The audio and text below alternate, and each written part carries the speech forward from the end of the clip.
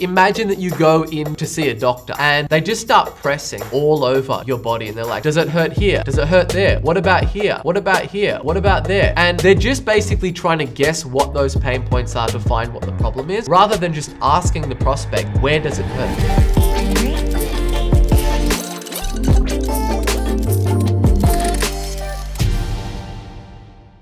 Hey guys, Sabri Suby here, and I recently put a call out to my Instagram for anyone that was willing for me to go through and roast their funnel, where I would take a look at what they're doing, whether it's on paid ads or a landing page and a, full-blown funnel, and I would just go through step by step and show you what are the areas that I would look at to improve, to either improve the conversion rate or increase the AOV and just overall increase the performance. And that's exactly what we're gonna be doing right now. So the first one that I had came in from Kasun Avish. His website is Black Jet Coffee. I think that's how you say it.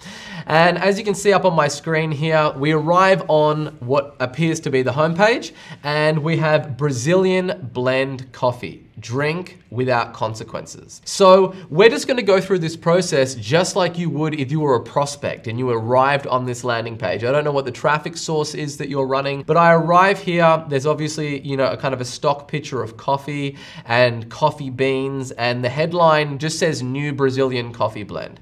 Now, that is a very, very ordinary headline, and there is no intrigue or really any benefit on there for me, for the end user. But I'm gonna leave my judgments aside for now. We're gonna go through the rest of the page, and then we're gonna come back up and I'm gonna break it down step by step. So then the next thing we see is these little icons, sustainable packaging, split roast style, um, express delivered to your door. Cool. Nothing really crazy there. The only thing that kind of grabs my attention is this split roast style, so we'll read into that.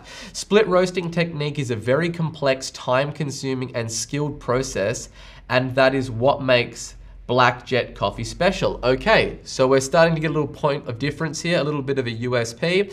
Then we scroll down and we have pictures of mushrooms growing, and it says your daily dose of calm. Black Jet Mushroom Magic. Got a little pop up that pops up here. Um, and then the subhead below that says, get into state of flow by harness the power of adapt adaptogenic mushrooms and find the calm within. Cool, then we've got another three icons, boost cognitive performance, regain hormonal balance, and improve sleep. And then we've got it's coffee, it's healthy, it's cough shrooms. Again, we've got more icons here, boost cognitive performance. And then if we expand out on the paragraph of text that's below that subhead, niacin and copper found in mushrooms promote function of the nervous system and keep the nerves healthy. Mushrooms contain vitamin B5, which is necessary for production of various hormones and play an important role in properly functioning brain. Regain hormonal balance, improve sleep. Then we go down and we've got some Lion's Mane coffee and chaga, and it looks like we've got two different sizes here. So cool, that's the prices. Then we've got start your day with Manuka, honey, and coffee. So there's a lot going on, more icons going on here, and it's kind of just, there's a lot of different things that are kind of jumping out at me, and I don't really know what to what to focus on or, or, or, where to funnel my attention to. Cool? So that's the entire page. So now let's basically rip through this thing step by step. It appears that there is a multitude of different styles of coffee that it is that you provide. And I don't know which one that you're looking to promote. Either I scroll down to the section that kind of breaks out into a more e-commerce function. You can see that the single origin Guatemala is the only one that appears to be sold out. Sorry, we also have the organic hemp coffee that is also sold out. So if I click through to this product page, let's see what we have. Cool.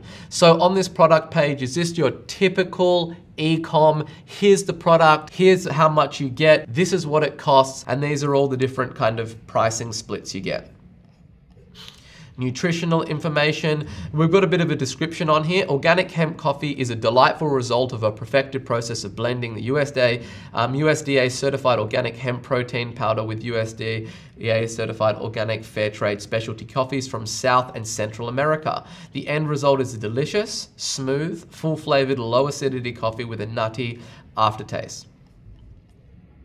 Cool, picture of coffee caffeine for weight loss, caffeine for endurance, caffeine for sports focus. So very much the same kind of method that we see on, on the homepage.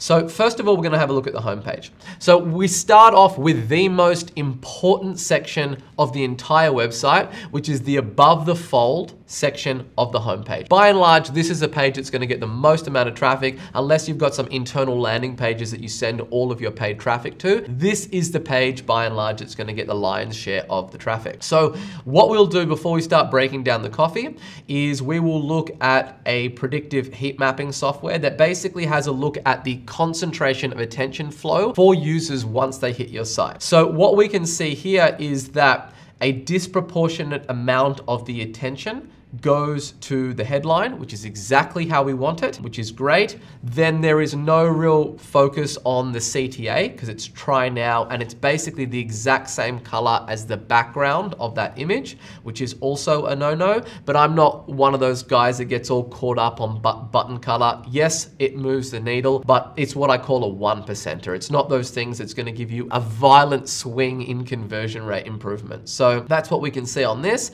And then with perception maps, it's very much the same thing. Predominant focus goes to the main headline and then a bit of focus going down to the, the icons and the text below that. We have all of this attention going to the headline, but the headline doesn't move any freight. It's not gonna do anything to entice the user to read the rest of the page. Now, when it comes to increasing conversion rates and average order value and the overall ROAS if you're an e-com business is consumption. Consumption precedes conversion. If you want to get people to convert, you need to get them to consume. Because right now you're trying to educate me about this new and unique coffee that you've got. And I'm getting all this kind of mixed signals that is coming out from here. We've got all these different types of coffee. And then we go straight into the e-com side of things.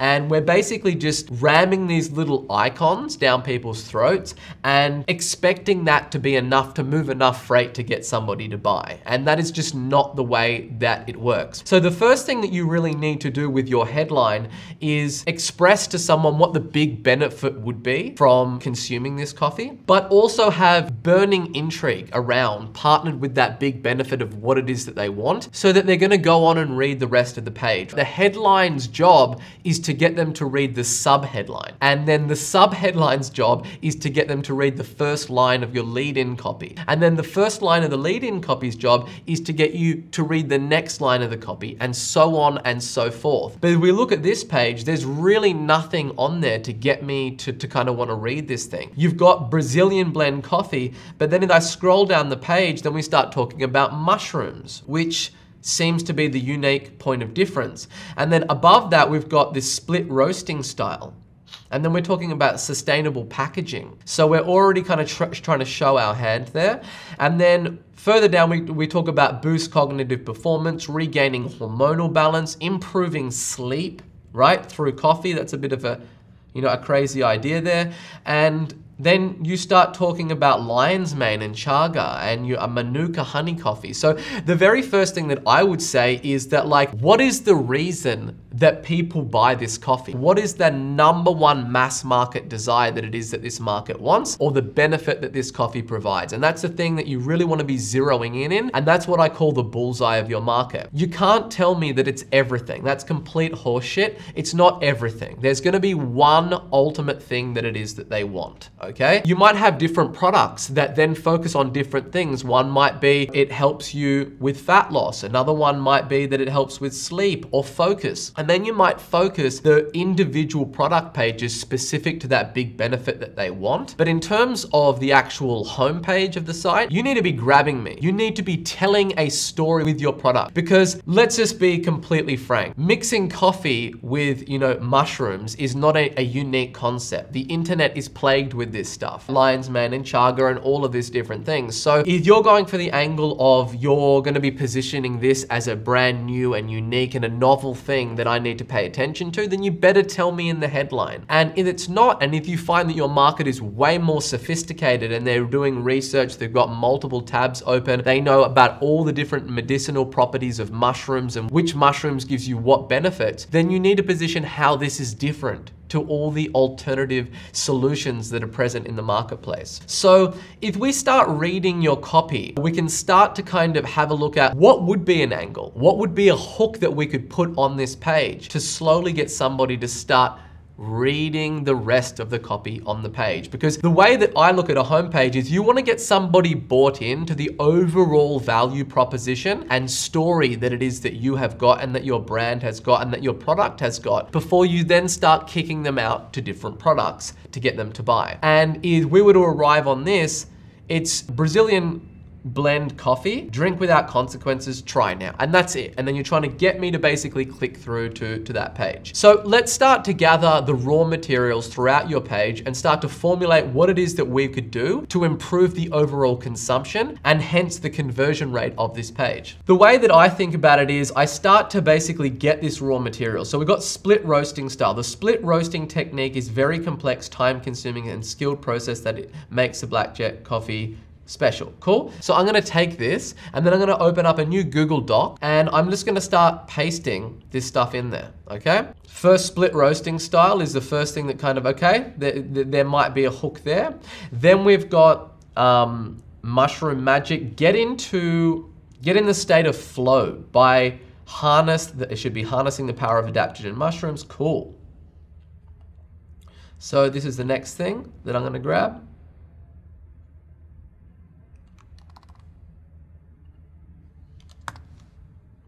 And I will paste that into the Google Doc. Then we've got boost cognitive performance, regain hormonal balance, improve sleep. They're three alternative angles that you could potentially use, but you can't say all three. You can't be like boost cognitive performance, regain hormonal balance, and improve sleep because they're three different categories altogether. And the person that is gonna wanna be doing, like is someone that's looking, okay, cool, I wanna get a coffee that really gets me deep into flow state or gives me crazy focus, then that's what they're gonna be thinking about. They're gonna be thinking about about the focus piece. They're not gonna be thinking about improving the sleep part. Or then there may, might be a segment of the market who, whenever they have caffeine, it just destroys their sleep. So they're looking for some kind of coffee that doesn't give them jitters and doesn't wreck their sleep. So then that's the angle that we would go in. But all of this stuff, right, you're not writing copy and just coming up with these angles from your brain. You're researching your market in forensic-like detail to find out what it is that they want. And then you're just assembling what it is that they want into an offer, into a copy and into an angle. You're not trying to come up with, trying to just create desire for your marketplace. You're trying to channel what people are already starving for in that marketplace. And you do that by using a method that I call the halo strategy, where you start to really dive deep into your market's monkey brain to find out exactly what it is that they do want. We don't want to be guessing what it is because that's not the way that you get funnels to convert like crazy. You do it by finding what it is that that market is starving for and then coming up with a really unique hook and compelling copy and a great offer to lure them in and get them to take action. Then we go further down and you kind of expand on those different three points, right? So now you've got boost cognitive performance. That could be an angle in itself and you expand out that on that a little bit with niacin and copper found in mushrooms. That is not new, unique because it's say, you're saying that it already is found in mushrooms. So I'm gonna kind of leave that right now. Then you've got another headline. Every sip will promote positive feelings and lift your mood. This is the equivalent, this landing page, of doing what I call is like, imagine that you go in to see a doctor and they just start pressing all over your body and they're like, does it hurt here? Does it hurt there? What about here? What about here? What about there? They're just basically trying to guess what those pain points are to find what the problem is, rather than just asking the prospect, where does it hurt? And then just finding exactly where they need to go in and focus, where we're trying to hit all the possible angles in this market and we're trying to speak to everyone. And when we do that, we don't speak to anybody because it's just like throwing spaghetti at a wall and seeing what sticks. And it's not an effective way to get somebody to do what it is that you want to do. Now we go into this Manuka honey. Medium dark roasted organic um, Arabica beans glazed with raw New Zealand Manuka honey will have you feeling refreshed and energized all morning long.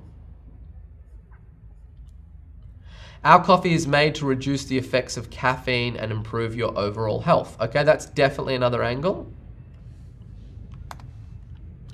So we will chuck this also in our Google Doc.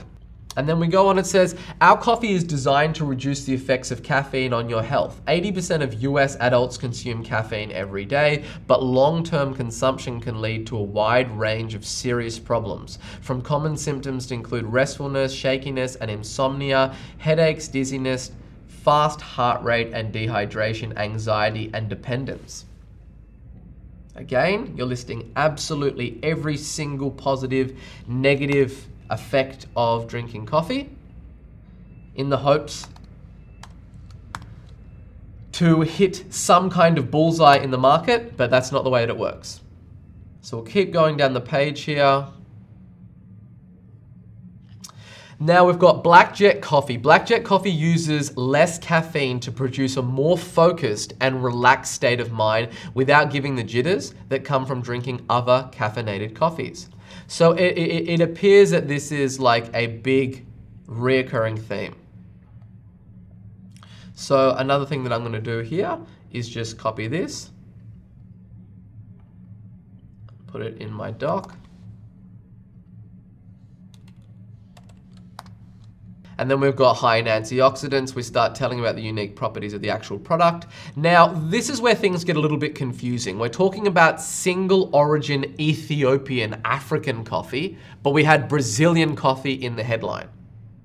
So like, what is it? Are we selling South American coffee or is it African coffee? And don't say both because if it's both, then you can't lead with a big Brazilian one in the actual headline of it. So it might be looking at this, right?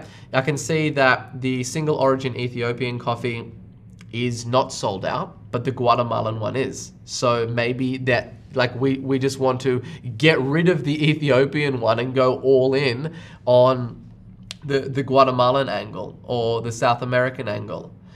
Cool, we scroll down, got some testimonials on here, got questions, we've got answers. There's a lot going on on this page. And the first thing that I wanna really do is kind of strip back to find out what that mass market desire is. And also where are we gonna craft our offer to hit that bullseye and make this something that would actually be interesting for this market to read. So if we look at our raw materials that we've gathered throughout the page, we've got split roasting style, we've got get into the flow state by harnessing the power of adaptogenic mushrooms, the effects of caffeine improve your overall health, and then we've got about like the downsides of drinking regular coffee. What I have found is that you can catch more flies with honey than you can with vinegar. I.e., if you lead with the big benefits of what it is that your product or service has, it is a lot more compelling than leading with a negative thing in your marketplace. So let's start to think about, okay, let's attach ourselves to the idea that we're gonna be promoting a coffee that is gonna be promoting flow state or harnessing the power of like deep focus and without the jitters and without all the, the, the, negative things that come through it. From reading this page and like looking throughout this page, it looks like a, a bunch of the coffee is, you know, you're sourcing the coffee from all over the world, even though we've got Brazilian in, in the headline. If we go through to your About Us page and read a little bit about exactly this company. This might give us, typically this is the first place that I do wanna look. I, I, I wanna look at like, is there a unique story? Is there something that I can latch on here that's gonna be unique about this brand so I can position this in a way that isn't commodity? Because that's the thing with ecom. You don't wanna be classed into a commodity. You don't wanna be talking, for instance, that you use lion's mane and chaga mushrooms. Instead, you wanna be talking about your proprietary blend of these adaptogenic mushrooms because otherwise you're putting yourself into a product where someone can open up Amazon and then they can just type in lion's mane coffee and then they can find the cheapest alternative and then they can go with that. So you're basically creating a whole bunch of desire for this category of products and then people can just go into shopping mode, race for the bottom and they can look for the cheapest product within that category. Instead, what we wanna do is we want to use our copy, we wanna use our ingredients to basically create a USP, a unique selling proposition, so they can't just go and find this blend of our mushrooms or the, the way that we do the coffee roasting and this combination that makes the magic, that is the secret sauce that gives the prospect the outcome that it is that they want. So on the About Us page, it's pretty much just saying the same stuff that we saw on the, the rest of the homepage. Yeah, we're talking about like it's carbon neutral, you know, it's FDA registered. Um, so we've got, okay, cool. So it looks like you've got a facility in Denver, Colorado. You source the beans over internationally, you bring them into Denver, Colorado, you process them, and then you sell them. I am going to assume from looking at the homepage that the most popular is these South American coffees. So that's the angle that I wanna go on. I wanna create something that is unique around a story around, and I know that South American coffee isn't unique. It's, it's everywhere. It's a complete commodity. However, we need to start formulating an angle that is gonna be unique. And the way that you really wanna be thinking about your headline is what is it that you could put in your headline that would pique the curiosity of the big benefit that this market wants and get them to read and get further invested in what it is that you do. So that's exactly what we're gonna have a look for.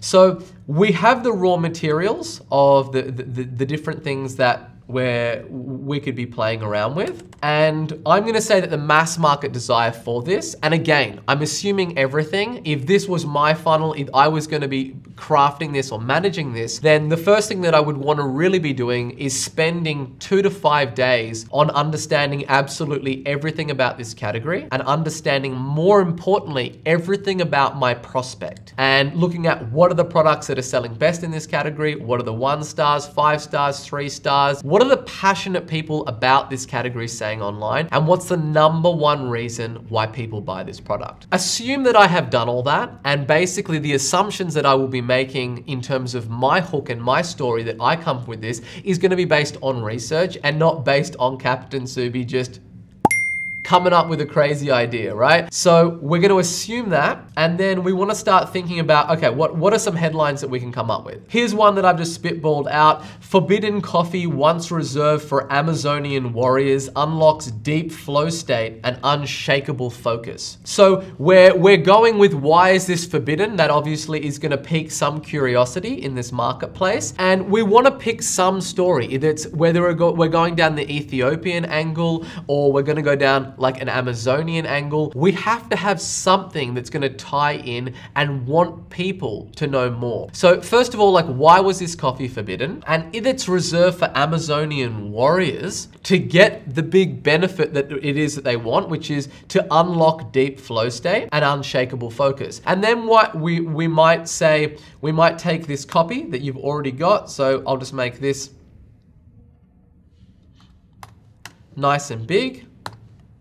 And we might say, okay, cool. Well, for the sub headline, we, we do want to expand out on this whole thing that we've found that is present in the marketplace, which is like, yeah, people want coffee. They want to unlock a lot of energy that comes through. However, they don't want to get the coffee shakes. They don't want their sleep to go in the trash. They don't want all of the downsides of drinking coffee because they're just slamming themselves with some super, super high concentrated caffeine. And then we might be like, you know, without the jitters that come from drinking other caffeinated coffees. However, I would say that if we're gonna be going with a story hook, we don't really wanna be going down that angle for this page because we're basically then eluding that we're gonna try to sell them something straight out the gate, where what we really wanna be doing is we wanna get them further to read the rest of the copy. So typically what we would do in the sub headline is we would expand out on the headline complex and what we said in the headline. And then we would basically lead with something like, this has been like recently rediscovered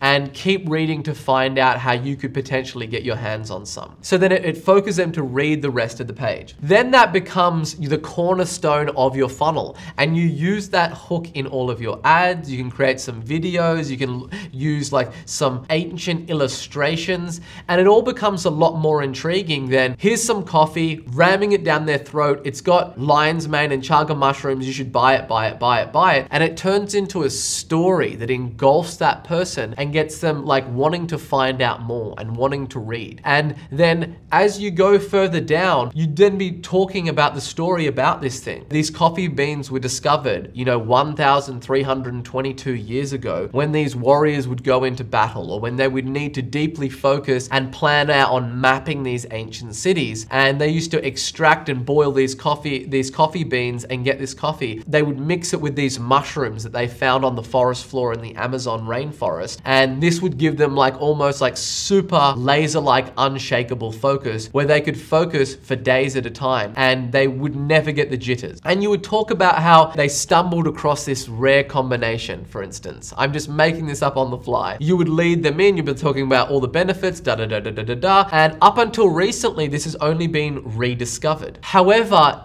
it's unlike all of these other things that you've found because these warriors found that if they just mix these mushrooms with normal coffee beans or they boiled them for too long, that they would get all these negative side effects. We're already starting the selling argument about just going to somewhere else and getting this for cheaper and us becoming a commodity. And then you keep on going. We're not revealing that we've got this product yet. And then you'd go up until recently, this had been lost. This was a, a lost recipe that had been forgotten for thousands of years or for hundreds of years or whatever it might be. And then until we found, you know, some ancestors of this Amazonian tribe and they've been passing this down for many, many generations. And we have patented this and we've created this unique blend and we've done a small batch sample that we're only trialing in this market or we're opening up a limited batch to this marketplace. And then you would go and you would further elaborate out on your sales page about all the other things about how it's it's organic coffee and it's fair trade and all of the kind of other things that you led with